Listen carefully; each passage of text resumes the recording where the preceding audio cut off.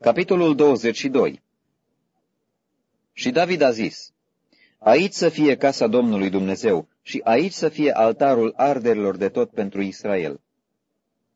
David a strâns pe străinii din țara lui Israel și a însărcinat pe cioplitorii de piatră să pregătească pietre cioplite pentru zidirea casei lui Dumnezeu. A pregătit și fier din belșug pentru cuiele de la aripile ușilor și pentru scoabe, aram atât de multă încât nu puteau să o numere și lemne de cedru fără număr, căci sidonienii și tirienii aduseseră lui David lemne de cedru din belșug. David zicea, Fiul meu Solomon este tânăr și plăpând, și casa care va fi zidită Domnului trebuie să fie de mare faimă și slavă în toate țările. De aceea vreau să-i pregătesc cele de trebuință pentru zidirea ei. Și David a făcut mari pregătiri înainte de moarte. David a chemat pe fiul său Solomon și i-a poruncit să zidească o casă Domnului, Dumnezeului lui Israel. David a zis lui Solomon, Fiul meu, aveam de gând să zidesc o casă numelui Domnului, Dumnezeului meu.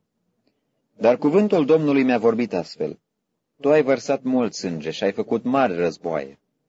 De aceea nu vei zidi o casă numelui meu, căci ai vărsat înaintea mea mult sânge pe pământ.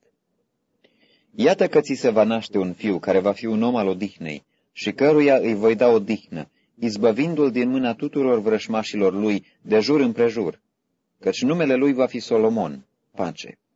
Și voi aduce peste Israel pacea și liniștea în timpul vieții lui.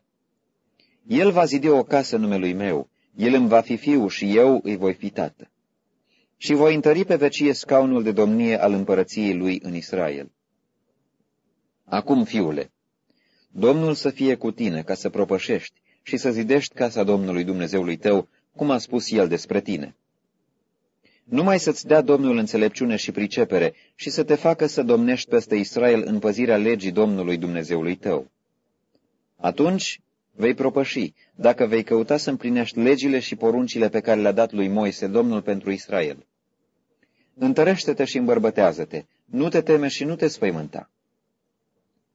Iată, prin străduințele mele, am pregătit pentru casa Domnului o sută de mii de talanți de aur, un milion de talanți de argint și o mulțime de aramă și de fier, care nu se poate cântări, căci este foarte mult. Am pregătit de asemenea lemne și pietre și vei mai adăuga și tu. Tu ai la tine un mare număr de lucrători, cioplitori de piatră și tâmplari, și oameni îndemânatici în tot felul de lucrări. Aurul, argintul, arama și fierul sunt fără număr. Scoală-te dar și lucrează și Domnul să fie cu tine. David a poruncit tuturor căpetenilor lui Israel să vină în ajutor fiului său Solomon, zicând, Domnul Dumnezeul vostru nu este oare cu voi și nu v-a dat el odihnă de toate părțile? Căci a dat în mâinile mele pe locuitorii țării și țara este supusă înaintea Domnului și înaintea poporului său. Puneți-vă acum inima și sufletul să caute pe Domnul Dumnezeul vostru.